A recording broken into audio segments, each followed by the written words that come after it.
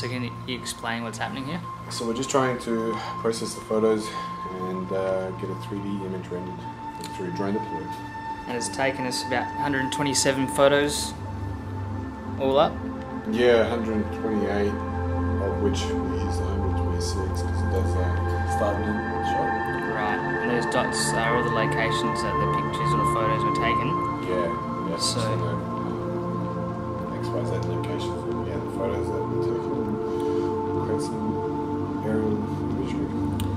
Once it's all uploaded or stitched together and hopefully form a nice little 3D model or picture that represents the real thing that we can um, yeah, navigate around in the digital space.